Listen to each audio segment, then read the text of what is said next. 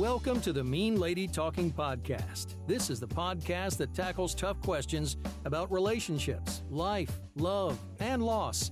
It may not be the advice you want, but is probably the advice you need. And now here's your host, grief therapist, motivational speaker, relationship expert, best-selling author, and attorney, the not really mean, mean lady herself, Susan J. Elliott.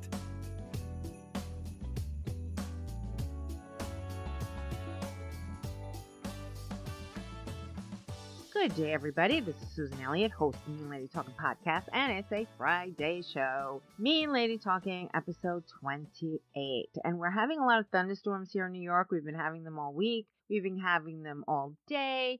So I am going to interrupt the broadcast if the thunder and lightning gets to be too much or takes my internet down, which it has done several times this summer. And I've been trying to turn off the router and protect all my devices during these wacko thunderstorms. And I have some really great listener letters today.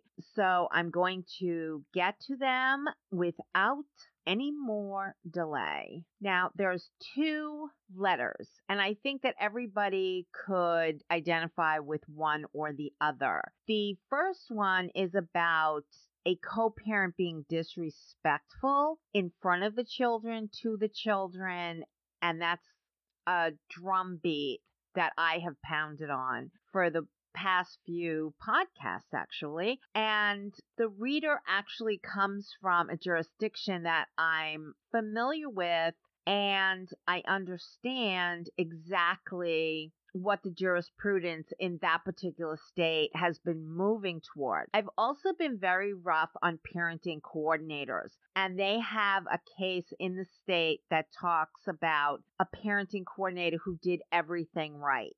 The family court judge did everything right, trying to deal with a co parent who was not doing what she needed to do. I've only had a little bit of time to review the case that I was thinking of when I got this letter, and I haven't prepared any real notes for this podcast because I received another one just recently about a breakup. Somebody who was feeling somewhat ashamed of her behavior during the last argument and also losing connection with his children.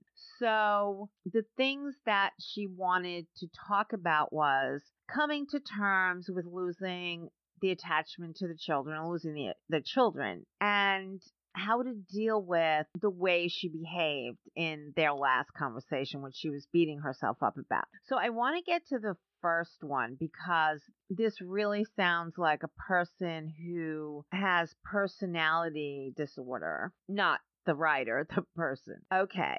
So this is the question. I think my ex-husband has narcissistic personality disorder. We have been separated for four years and legally divorced for a month. I left him and never regretted that. We share a six-year-old daughter. The last two times we had to be there for our daughter in the same room, he was verbally abusive to me. I ignored his comments and just wanted to be near her side.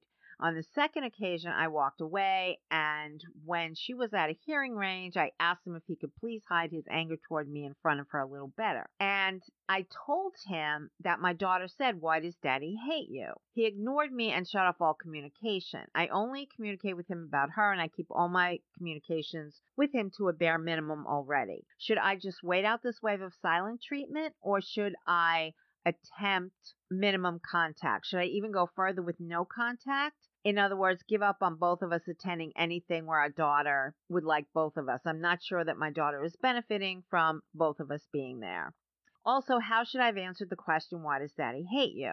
I told her he doesn't hate me and we are friends, but clearly she sees that isn't true. In retrospect, maybe it was silly of me to think that asking him to control his anger better would actually result in him changing his behavior. Should I attempt to document that he has ignored two texts about drop off? Well, first of all, I think that if you've been separated this long and you've been divorced for a month, I would be really surprised if there's no parenting agreement in place. There should be a parenting agreement in place, and there absolutely should be an agreement that he is supposed to be following. And drop offs and pickups should absolutely be in writing. And what I have said for all parents whether your ex is personality disordered or not, whether you and your ex have a friendly relationship or not, you are not together for a reason. You don't mesh well together. You see things differently. Whatever it is, there are reasons why you're not together. So even if you've tried to have a friendly relationship, I know that there are many professionals, both mental health professionals and legal professionals, who seem to be unaware of how wrong things can go when parents are in uh, communication with each other on a frequent basis. I really don't believe in it. I really believe that children need to accept the separation of parents, separation of households as a fact of life. If you don't make a big deal about it or you don't try to push for something that's fake or doesn't really exist, you're not going to confuse the kids. Kids who grow up in two with two parents in two different households with two separate rules and doing things differently, they adjust to that. They understand that. Okay, this is mom's house, this is how I do it. This is dad's house, this is how I do it. The kids do not get confused. A lot of times parents are turning themselves inside out on these somewhat fictional beliefs about their kids. Oh, it'll be better for the kids if I did this, it'll be better for the kids if I did that. And that is not always true. And I've also seen a lot of legal professionals that have absolutely no training in the therapy field.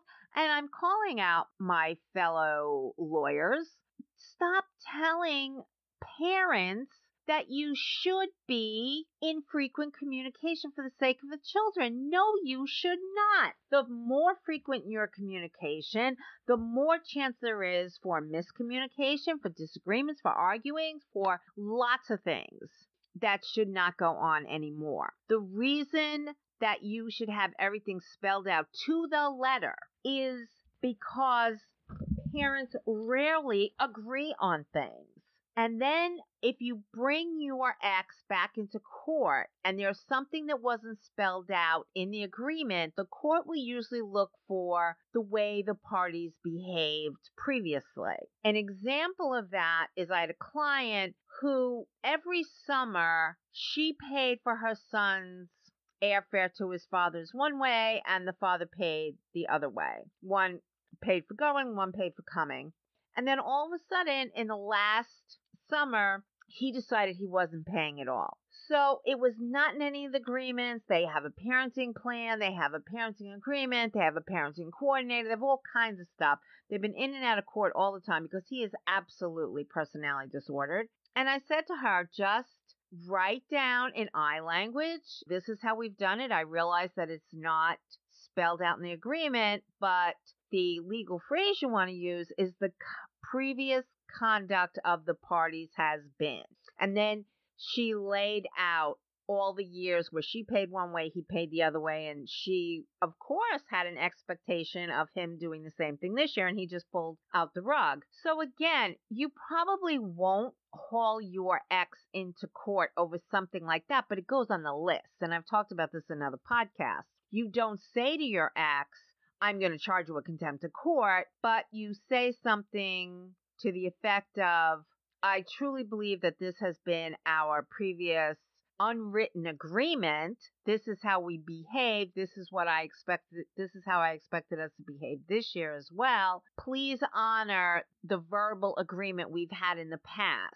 Because his behavior clearly showed that that was their agreement. So she's not going to haul him into court over this one plane ticket, but she's going to put it on the list of things that she feels entitled to repayment for at some point.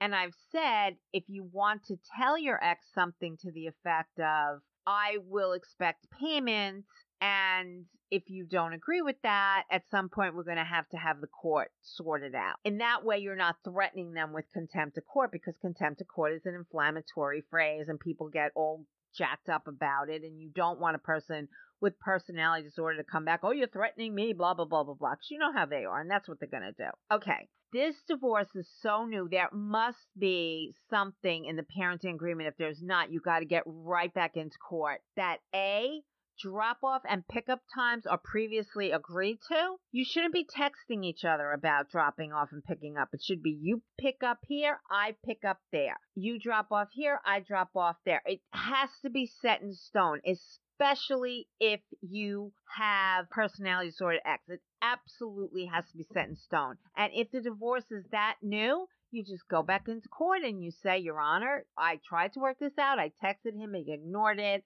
and I really need this to be clearer. I really need clarification on this. The other thing is that no court is going to put up with one parent verbally abusing the other in front of the children and not heeding the child's words, why does daddy hate you? Those things courts take extremely seriously. It's very bad behavior. It's really upsetting. It's upsetting to the children, and the courts don't like it. I would absolutely haul this stuff right into court and say, we need a parenting agreement and we need to stick to drop off and pick off. You cannot, cannot, cannot have something like this with somebody who is that uncooperative and leave it open. It should be drop off is here, pick up is there. Drop off is here on Friday, pickup is there on Saturday or Sunday or whenever it is. It has to be set in stone. I did this with my ex for 10 years. Drop off was seven o'clock on Friday. Pickup was five o'clock on Sunday. That was it. We met in the same place, a little strip mall, every other weekend for 10 years. It never, ever changed. And if I couldn't do it, then a third party would do it. If if he couldn't do it, a third party would do it. But we made sure we never ever ever changed that schedule because we couldn't agree on anything. We couldn't agree on the color of the sky. We did nothing that we ever had to discuss anything about because it just wouldn't work. Now, one of the things that I want to talk about is I said to this woman, Where are you located? And she said, Massachusetts. Now, I know that I have I've been ragging on judges, lawyers, parenting coordinators, social workers, therapists, CPS, everybody in my last few podcasts, but there is a case in Massachusetts that is the seminal case of how these things should be handled. And it floors me that the woman in this case brought this to the Massachusetts Court of Appeals. It just it's just amazing to me that she did as many things as she did and then appealed this decision. The case that I'm thinking of, and I read this, and I read it because a friend of mine who is a parenting coordinator, not in Massachusetts, but in Rhode Island, sent this to me and said, You're always ragging us on us parenting coordinators. And I'm not always ragging on parenting coordinators. I'm ragging on clueless parenting coordinators. Like this woman just said they've been divorced four years. And why is her ex holding on to this anger? This is ridiculous. Ridiculous. And I talked about another case where the parenting coordinator said to the woman who was objecting to the tone and the insults of her ex in email, the parenting coordinator actually said, Well, he's still angry. Well, it was three years since their divorce. Get over it. Those are the parenting coordinators that I rag on. But this was an excellent parenting coordinator, an excellent attorney, an excellent judge. So I want to explain to everybody the case and if you have a lawyer, if you have a parenting coordinator, if you have a judge, and you're in another state, just please pull this this case. Tell them to pull the case. It is called Leon versus Cormier. Now, as far as I can tell, everything, everything was done correctly down below. When I say down below, I mean in the family court. The mother hired an attorney to appeal the decision. She was represented by a lawyer. The father represented himself in the appeal case. And because I have a lot of respect for what went on in this case, and it really highlights everything that I believe in and everything I've been telling people, I'd like to read as much of it to you as I can, and I'll try not to go into legalese or anything, or if there's legalese, I'll explain to you what it means. The family court judge held the mother, Jessica Cormier, in civil contempt for violations of an agreed upon parenting coordinator's order. The mother argued that the parenting coordinator's decision was not an order of judgment and therefore could not be enforced by a finding of contempt. The Court of Appeals reviewed what happened and the Court of Appeals said we conclude that the parenting coordinator's decision was, in fact, an order of the court pursuant to the judgment of divorce. Therefore, it was enforceable and therefore they affirmed the decision of the lower court. Now I'll explain to you the facts of the case that you need to know in order to understand the judgment of the appeals court. They executed a separation agreement, the parents. In the separation agreement, they provided, among other things, sometimes you'll read in a case it'll say inter alia. Inter alia just means among other things. So, among other things, they decided that they could modify the parenting plan by agreement.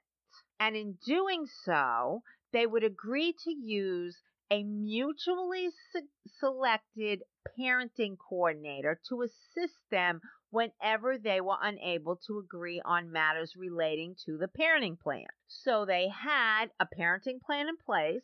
And this is where things really need to be set in stone. And people will say to me, oh, I don't want to do the minutia, the this and that. No, no, no. Do the minutia. The more minutia you do in the parenting plan, the better off everybody's going to be. You know exactly what's going to go on and when. They also agreed in the separation agreement that they would mutually agree on a parenting coordinator and that they would mutually agree that the decisions of the parenting coordinator would be binding on the parties unless it was modified by the court. In this agreement, they were looking, as far as I could see, as many stopgap measures as they could.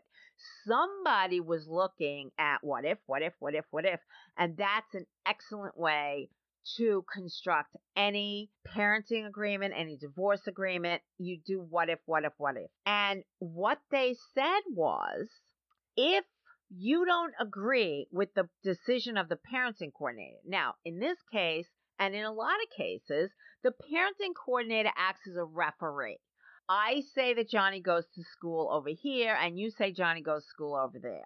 Johnny lives an equal distance from each school. What do we do? I want Johnny to go here. You want Johnny to go there. We go to the parenting coordinator. What does the parenting coordinator say? Parenting coordinator says, oh, Johnny's going to go to this school. The other parent says, I don't like that. I'm going to go bring it to court and say, I-, I don't agree with this decision. They put that in this agreement. They said, if one of us doesn't agree with the parenting coordinator, we have the right to go to court and ask the court to review it. Everything, everything, everything was resolved. A, we have a parenting plan. B, we have a parenting coordinator. C, we agree in advance to abide by the decision of the parenting coordinator. And if for some crazy reason, even though we've put all these agreements in place, if for some crazy reason we just don't get our way, we want to go to court, okay, could go to court.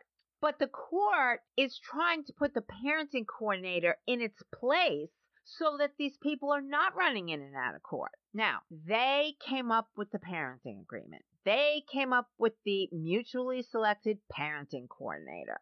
The parenting coordinator, very, very wise parenting coordinator, says, these are the details of future visitation exchanges. This is also details of how email communication is going to go. Knowing how things have gone in the past, the parenting coordinator said one drop off will be in Chelmsford, Massachusetts, and one drop off will be in Pepperell, Massachusetts. So it's like I said at the beginning one person lived in Pepperell, one person lived in Chelmsford. It's very even. It's, you know, both people are doing the same amount of driving. And they had the drop off and pickup at the Chelmsford Police Department or the Pepperell Police Department. Now, I don't know if you know Massachusetts, but Chelmsford and Pepperell are not terribly close to each other. So someone's going to be driving and they're each going to be doing it in a police station. Okay, so that's that's the agreement. That's an excellent agreement. I like it. I think I've told you guys that I've run into parents and coordinators who think that oh, it's all traumatic for kids to be dropped off and picked up at police stations, and it's not. And if you think that it is, do a little strip mall, make it as public as you can, so that people aren't fighting or whatever. But police stations are the most safe place. The parenting coordinator also limited and I love this because this is something I suggest as a therapist and as a lawyer, I suggest it all the time. The time, the content of, and the length of emails. She could only send emails on Tuesdays. They could only email on Tuesdays and they had to be necessary emails. There was not to be any insults. There was not to be any anger. There was no discussion about third parties or relatives or anything. This is absolutely excellent. This is what I beat the drum of all the time. The only exception was a significant emergency or a necessary change in logistics that had to be established before the following Tuesday. So that was it. Everything in this case was just set in stone the way I say it should be. The judge was on board. The attorneys were on board. The parenting coordinator was on board. The father was on board. Guess what? The mother not on board. So the father filed three complaints for contempt, one which was thrown out because it just seemed to be a repeat of the other two, but the, the father was representing himself. So these are things that that people who are not lawyers would make. So the first contempt was for the alleged violations of the email communication, and the other one was the violation of the visitation exchange protocol. So they go to the contempt hearing. Mother doesn't have an attorney. Father doesn't have an attorney. Mother had an attorney for the appeals case. So the mother, and I said this in my very last podcast about the personality disorder. I said, personality disorder, they didn't get served, they didn't get noticed, they didn't get this, they didn't get that. This is a, this is a prime example of that. The father had attached as exhibits, which is what you have to do when you file a brief with the court, you have to give evidence as to what you're talking about. You have to give evidence to support your position. So he had attached all of her emails within three months. Now she's supposed to be sending emails only on Tuesday and only if necessary and they have to be very sane and deal only with logistics and things like that. Those were the parameters that the mother was restricted to by the parenting coordinator and in effect by the court. So between December 23rd and February 25th, the mother had sent, are you ready for this? 70 emails. 70 emails. There's only like 10 Tuesdays between December 23rd and February 25th. I didn't count them all, but there's like 10 Tuesdays. She sent 70, 70 emails. On top of that, she used all caps, complained about her inability to deal with the father, and used big block letters, which people consider to be shouting, where she said things such as my children in big capital letters and all of her issues that she had with him. All of these things, which the very smart parenting coordinator said does not belong in emails. It just doesn't. 70. 70. The other thing that the father filed for com- contempt over was that she would go to the Pepperell police station, I assume that's where she lived, and say this is where the kids are. She would not go to Chelmsford like she was supposed to. Now, to get back to what she claims she didn't get, the father's contempt complaint attached all of her emails as his evidence of her being in contempt. She complained that she didn't have a copy of the emails. And I can tell you that this is what the personality disorder do. I don't have a copy. I didn't get notice. Blah, blah, blah. If the personality disorder says I didn't get notice, a lot of times, judge, it's a constitutional right. It's not. It's not anything that's a small matter. Notice in a hearing is a constitutional right. Most judges will stay the hearing to another time. But what this judge did, and I love this, this judge said, ma'am, you wrote the emails. You know what they said. I was like, hallelujah, a judge with a brain. Oh my God. So, but the judge also gave her an out. The judge said, you know, if you really need to look over the emails that he attached, we can give you copies of them and then we could have a hearing another day. So judge gave the mother all the leeway that she asked for and then the mother said okay let's let's just get over with this today. So the mother said that she did not violate the orders of the court because the order was from the parenting coordinator and the parenting coordinator had no judicial authority over the parties. The mother's said that the judge erred in treating the parenting coordinator's decision as a court order. She said that the parenting coordinator's decisions had no legal weight because it had not been previously approved by the court. And she also stated that it's the father's responsibility to seek judicial approval of the parenting coordinator's decision and to have it entered as a court order before it could be enforced. And the appeals court said absolutely not.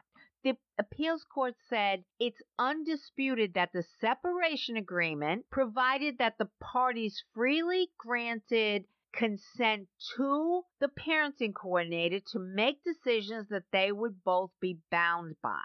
But there was a clause that said if either party does not agree with the parenting coordinator, they can seek the judicial aid of the court of any disputed order.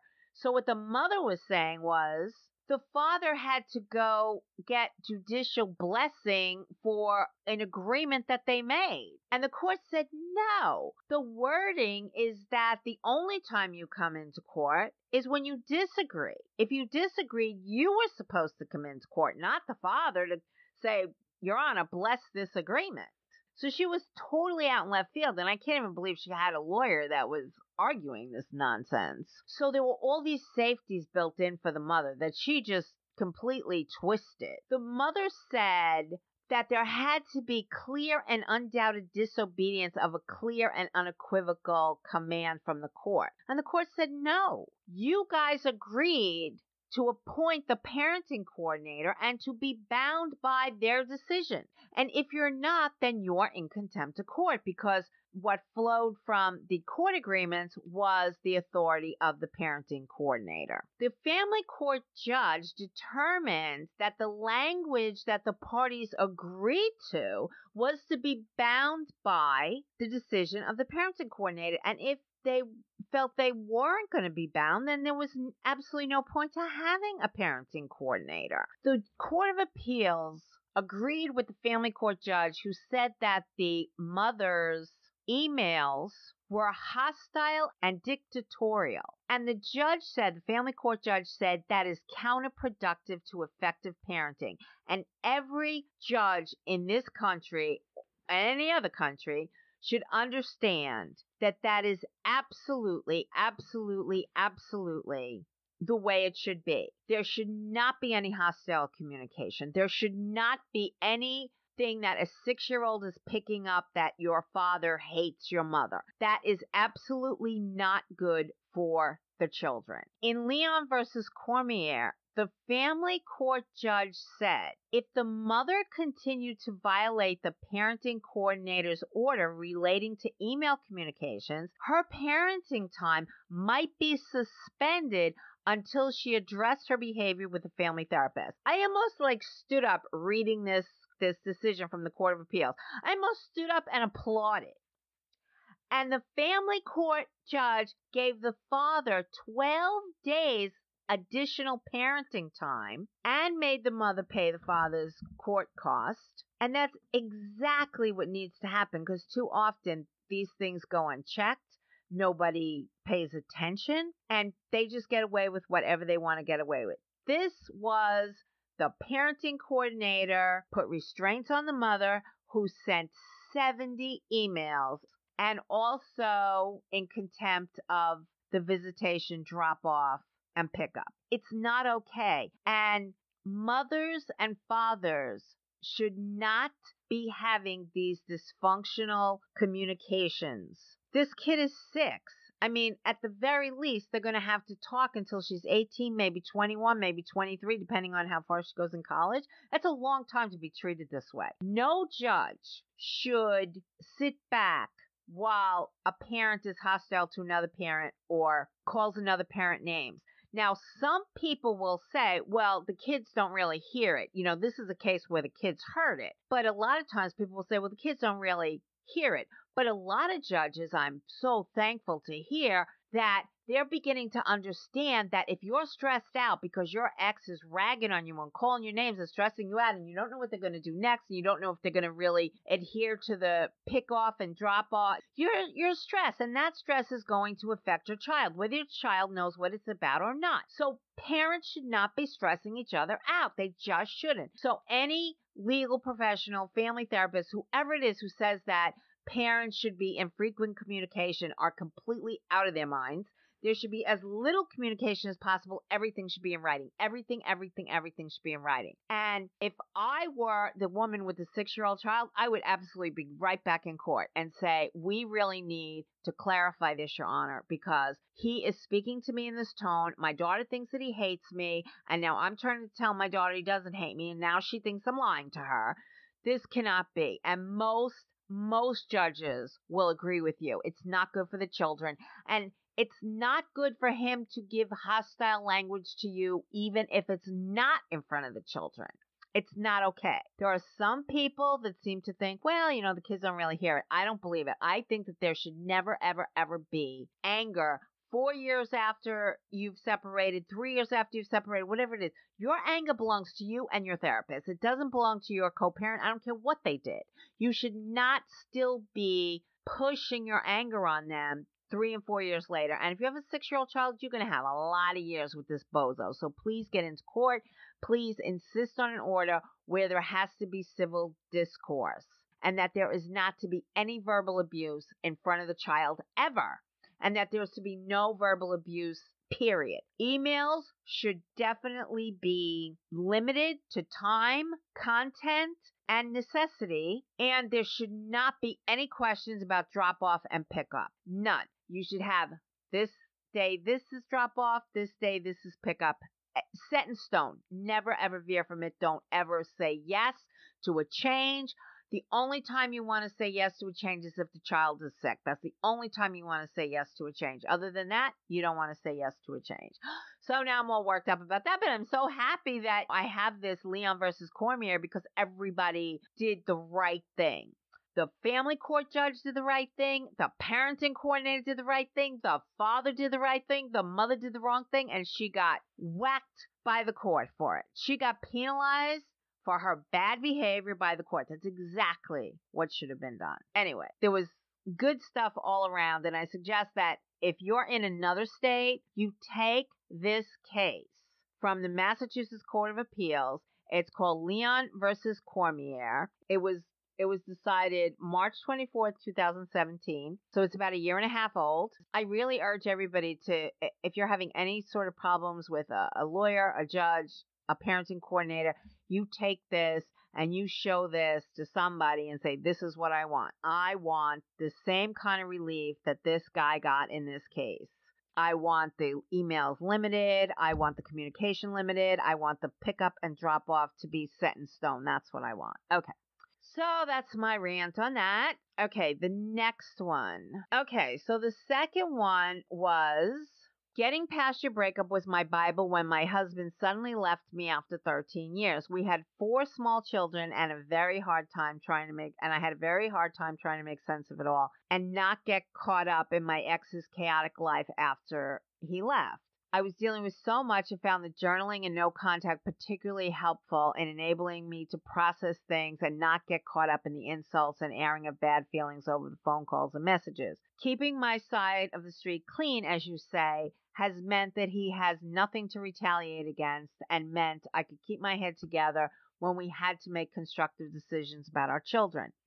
A year or so later, I got friendly with a mutual friend and we fell for each other in a big way. It was nice to have love back in my life one of the things I put on my list of wants for a new relationship was that I wanted to have somebody who had a good relationship with their own children so that they would understand that my children always come first and that there was no room for compromise on this. And that's an excellent thing. I mean, I never dated guys who had children until I met Michael. My kids were older then, but when my kids were little, they they were in too much competition with their father's stepchildren, and I just wouldn't put them in that situation.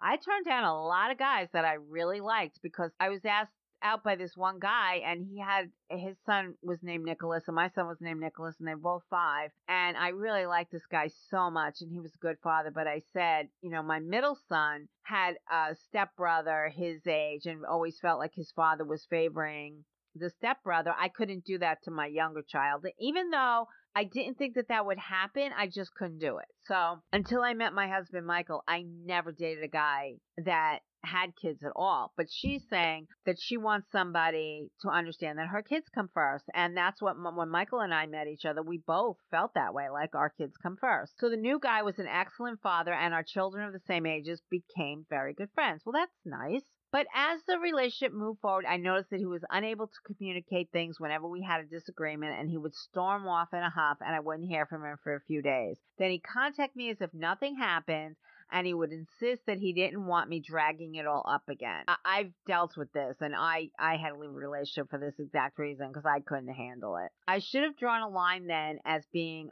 emotionally mature and able to communicate were also on my must-have list. So she's saying that she also wanted somebody who was emotionally mature and able to communicate and him going off in a huff and coming back was not emotionally mature and it wasn't. Things peaked when he was grumpy one morning because he couldn't find his car keys and his car was blocking mine in. This made me late to take my daughter to her dad and he had to come to collect her instead. I don't know if the guy felt embarrassed, but when he eventually found his keys, he stormed off, sending me a breakup message shortly after. Wonderful, there goes that maturity. I questioned him on what on earth was happening and how did he come to that decision, and then he sent me a series of messages saying how my kids were this and that, and I was this and that, things he never mentioned before. And I can tell you that when people storm off in a huff and then they just stew and then they don't want to talk about this, is exactly what they do. They do scenarios in their head. This was four days before we were due to go on holiday together. I'm not a good flyer anyway, and the thought of taking four kids away on my own terrified me. I spent those four days crying and feeling like I was letting my children down by not taking them on holiday. It was eventually their understanding and maturity that gave me the strength to take them away after all. Oh, that's nice.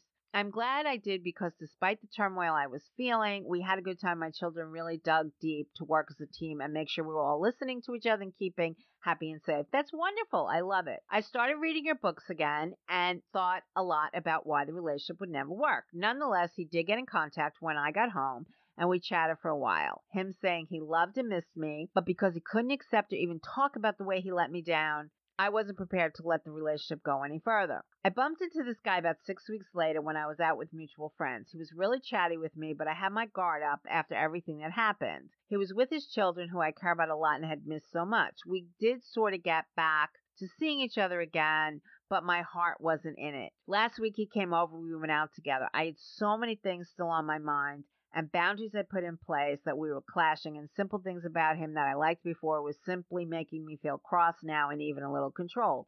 He wasn't controlling. I was just pretty easygoing before, and now I was standing my ground on things like my life depended on it. That night, we had a huge row, partly about a big life event we went through together that I'm still dealing with and I want to talk about. And then also lots of the many unsaid things started to come up too. All that built up emotion I had been bottling up came out and I behaved really terribly. I was trying to throw things out of the window, calling him names and pushing him away. I never behaved like that in my life, and this came as a shock to me. Part of dealing with my breakup is also coming to terms with my own behavior. Normally, when he leaves and doesn't contact me for ages, I keep everything above board, stay fair but firm, and only say the things I truly mean. This time, however, I didn't even recognize myself. I apologized the next morning for my part in the escalation of the round, we left it there. So my main issues I'm trying to cope with now are how do I come to terms with losing his lovely children and not being a part of their lives anymore my, while my children still want to stay in touch with them? I don't want to say they can't all be friends, but it hurts hearing about them and I don't know how to manage this going forward. Two, what can I do about the way I behaved the last time I saw him? I said I was sorry and I wasn't planning on contacting him again, but it's more about feeling guilty for my irrational behavior and accepting that I'm capable of that. I don't want to ever feel or respond like that again, and it's hard to come with, to terms with the fact that I did. I don't want any issues of messed upness to be carried along with me into the future. I'm a talker and that's how I work through things. No name calling overreaction, just honestly to the fact that I did all those things at the end is making me doubt if I know myself. Many thanks for all you do. The podcast has been a real gem. Thank you so much for this letter. I really appreciate it. I was in eh, I was in this exact relationship and he used to drive me crazy. I was just thinking about this the other day because I would want to discuss something and he would feel that discussing it was arguing. And I would say, I'm not arguing. Like when, when you think one thing and I think something else, we need to talk about it. And he would go, I don't like to argue, don't like to argue, I don't like to argue. And what happens is that you start to suppress everything. And there's all these things that are not said. And what happened to you happened to me. I just went straight out. Here you go. Verbal diarrhea. This is everything I ever thought about you and go suck an egg. And that's what happens when you're shut down. Mature adults talk about things. You cannot be in a relationship with somebody who storms off and comes back when they're done and they don't want to discuss it again. You have no idea what happened. You have no idea what's going to happen the next time the same thing comes up because a lot of times these are unresolved issues and they come up all the time. I know that's what happened in my relationship. And I talk about it in Getting Past Your Breakup. We couldn't talk about the schedule. And it was like you would think that I was trying to figure out when to launch an atomic attack on another country. You know, it's like he would just get like inflamed whenever I bring it up and he would say, I don't want to talk. I don't want to talk. I don't want to argue. And I would say, what do you mean you don't want to argue? Like, we have to figure this out. No, we don't have to figure it out. We don't have to figure this out. He just wanted to fly by the seat of his pants. And I had kids. He didn't have custody of any of his kids. He saw his kids whenever the hell he felt like it. So I had two weekends every month that I was free. And I wanted to know if we were going to see each other or not. And he couldn't commit to that. And I was like, well, you know, we need to talk about this. Because if we can't do this, we don't have a relationship. We didn't want to talk. We eventually didn't have a relationship. So I think that one of the things that happened here is that you was so bottled up and so frustrated by his behavior, which was not emotionally mature, is absolutely stupid, that you uh, eventually let him have it. That's what happened. And the way that you learn from this is that you know that that style is not going to work for you. The first time somebody says, I don't want to talk about this, or they grab their keys and storm off and come back a few days later and they don't want to revisit it, you know, that's it. It's over. Goodbye. You know that you should have walked at that first episode. And that's exactly what you should have done. And that's the lesson that you need to take from this. You also need to take from this when you talk to new people and you're dating new people. You need to say, how do you deal with disagreements? Do you want to talk it out? And getting back out there, I talk about the couple who she wanted to be left alone for a few hours, maybe even to the next day. He wanted to talk about it and he would walk around behind it going, can we talk? Can we talk? Can we talk? Can we talk? Their styles clash, but what we did was with them, I had them come to an agreement of, okay, how much time do you need to cool down? She wanted two days or 10 hours or whatever. And she said, give me an hour and then come in and see if I'm ready to talk. So he would go bananas when she was by herself thinking and, you know, calming down and she couldn't talk. She couldn't think when she was that worked up. So they had to come to a compromise because he could not handle her storming off and not talking to him for a couple of days or even a few hours. Like he just couldn't handle it. He was losing it. So the solution was how about they had little code words? She would get to a point, she'd go, Look, I need to sit by myself for a while. That was all she'd say. Then she'd go off and he would be like, er, sitting with himself, but understanding she needed some time to cool down. After about 45 minutes, he would go and say, How you doing, hon? Do you want to talk about this? You know, blah, blah, blah. Sometimes she did, sometimes she didn't. Give me another half an hour or so. So they each had to work on it. He had to work on being okay with her going off for a short period of time. And she had to be, get herself together, kind of force it, you know, instead of sitting there stewing on everything. She had to force herself to calm down and come back to him in a timely manner because she loved him. She had to put some effort into talking in a reasonable amount of time. And that's the key reasonable. And I talk about this all the time. You know, in the law, as an attorney, I learned in first year law school, it's the reasonable person standard. What would a reasonable person do? So, a guy who picks up his keys and storms off, comes back two days later, doesn't want to talk, not reasonable. Not reasonable at all. You wanting him to stay there and talk everything out right then and there, not reasonable. What do you do? You have to figure out if this situation is changeable or not. If you go to the workbook or getting back out there, I have the concept of accept it, change or leave. The way he was communicating, you couldn't accept it and you didn't leave right away. So you try to change it. I cannot deal with it when you take your keys, storm off, and don't talk to me for two days.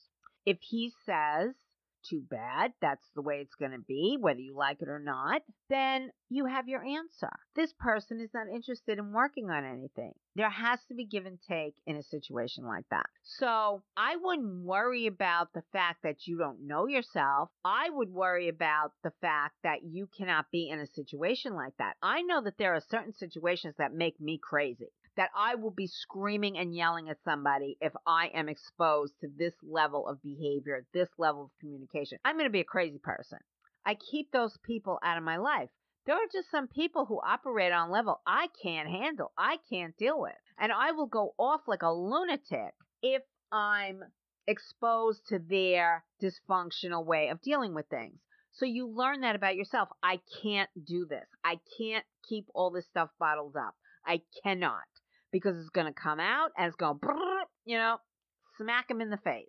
You have to look at your behavior. What you did wrong was you put up with this emotionally immature, ridiculous behavior of his. You didn't call him on it and you didn't leave. You didn't try to change it, or if you did try to change it, you didn't leave when you realized it wasn't going to change. And that's what you need to know. You need to know that a person's style of communication, I talk about this in getting back out there. You need to know what are your styles of communication when things go wrong, not when things go right. It's like, I cannot say this often enough. You have to have the same kind of styles for working out communication or you have to agree on a third style that nobody's real happy with, but nobody's terribly unhappy with. So that's what you have to do.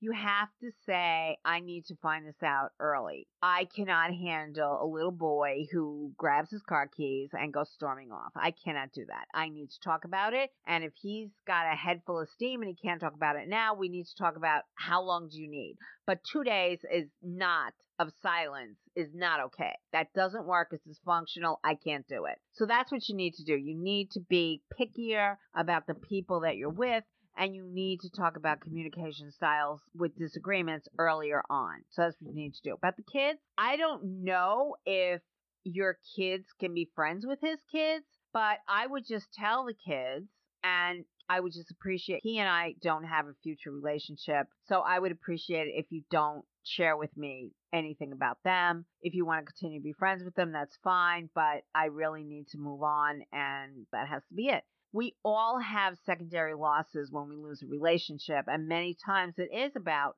somebody else's children or family or something like that. Dating a guy and he was a, a loser. You know, the only way I can describe it was he was a loser, but I loved his family and I loved his friends. And I had such a great time. And when I would go there, and it was a long distance relationship, so I would go up there on the weekends when I didn't have the kids, we hung out at this pub. It was sort of like cheers. I mean, everybody knew everybody, and this is where they hung out. And I went up there and I wasn't drinking, but I had such a great time. And it felt like where everybody knows your name and everybody loved me. You know, I'd walk in, they didn't go Norm, but you know, they were like, Hey, how you doing? How how are things down in Massachusetts? But when I lived in Massachusetts. So I really struggled with breaking up with this guy because I loved his family. His mother never had a daughter, and the guy's ex wife was not somebody that the mother was fond of. The mother loved me, loved me, loved me.